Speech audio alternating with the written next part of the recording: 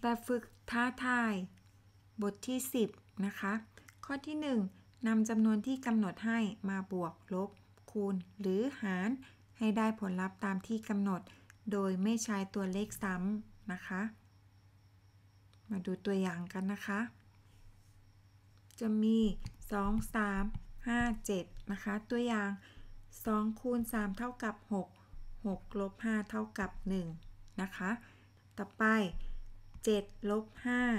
5เป็น 2 นะคะ3ลบ2ก็เท่ากับ 1 นะคะ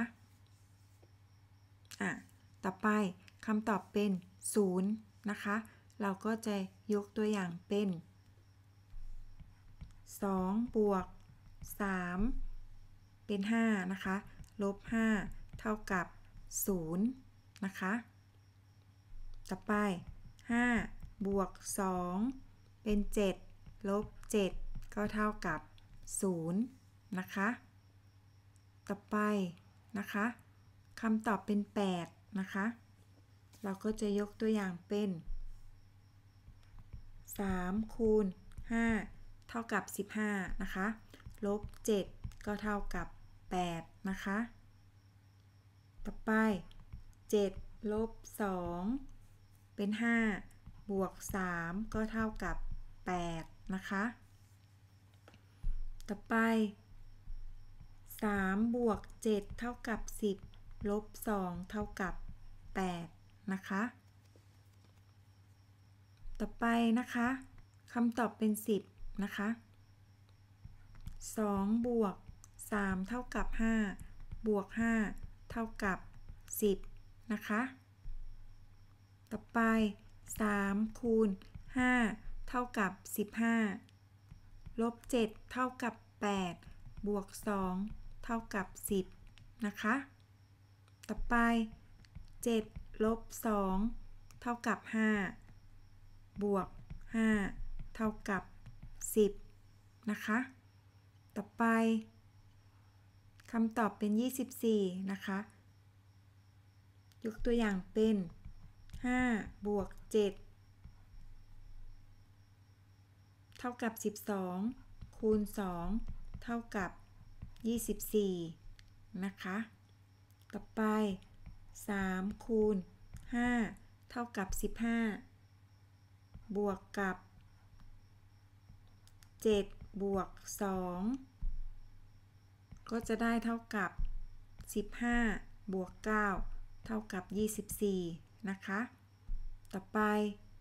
7 คูณ 3 เท่ากับ 21 บวก 5 ลบ 2 ก็เท่ากับ 21 บวก 3 ก็จะเป็น 24 นะคะ ต่อไปคำตอบเป็น 100 นะคะ ยกตัวอย่างเป็น 2 คูณ 5 เท่ากับ 10 นะคะ คูณกับ 3 บวก 7 10 คูณ 10 ก็เท่ากับ 100 นะคะ ต่อไปนะคะ ใบบัวร้อยสร้อยข้อมือ 1 เส้น ใช้ลูกปัด 8 เม็ด เป็นสีเหลือง 6 เม็ด สีชมพู 2 เม็ด ถ้าใบบัวใช้ลูกปัดทั้งหมด 32 เม็ด ใบบัวจะร้อยสร้อยข้อมือได้กี่เส้น และใช้ลูกปัดสีเหลืองกี่เม็ด สีชมพูกี่เม็ดนะคะ เรามาดูวิธีคิดกันนะคะ เรามาสร้างสร้อยข้อมือเส้นที่ 1 ก่อนนะคะ ก็จะใช้ลูกปัดทั้งหมด 8 เม็ดนะคะ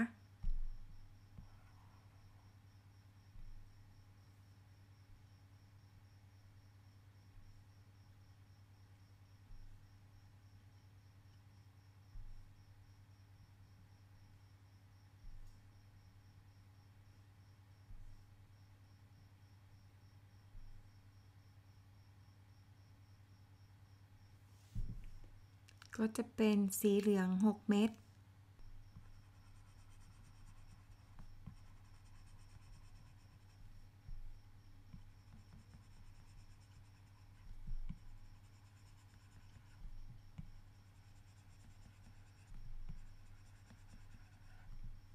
สีชมพู 2 เม็ดนะคะ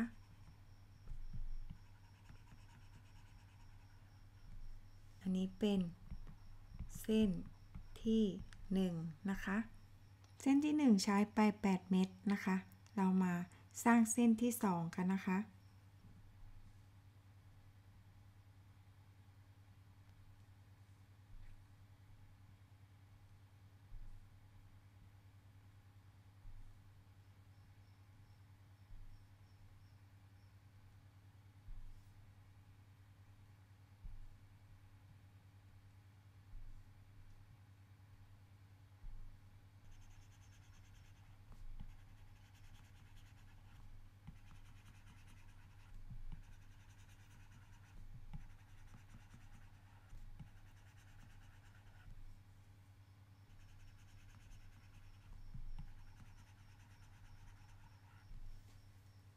อันนี้ก็จะเป็นเส้นที่ 2 นะคะ ก็จะใช้ลูกปัดไป 16 เม็ดนะคะ ต่อไปเราก็มาสร้างเส้นที่ 3 กันนะคะ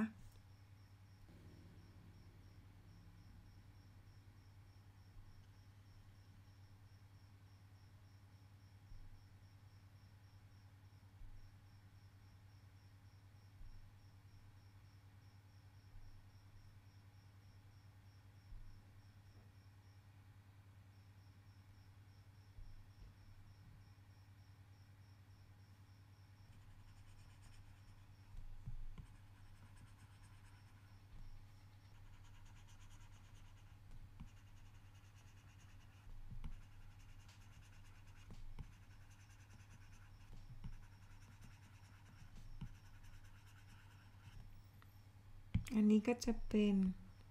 เส้นที่ 3 นะคะ ใช้ลูกปัดไป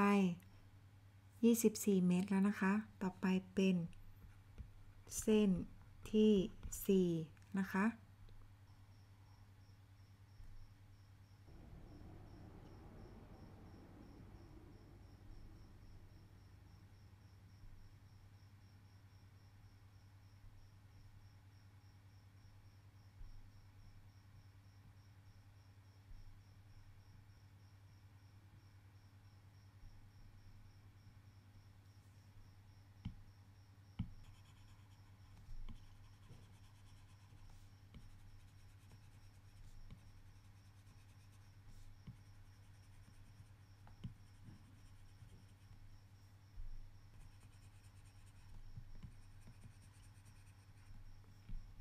ทั้งหมด 4 เส้นก็ใช้ไปทั้งหมด 32 เม็ดนะคะ แสดงว่า ใบบัวจะร้อยสร้อยข้อมือได้ 4 เส้น และใช้ลูกปัดสีเหลือง 24 เม็ดสีชมพู 8 เม็ดนะคะ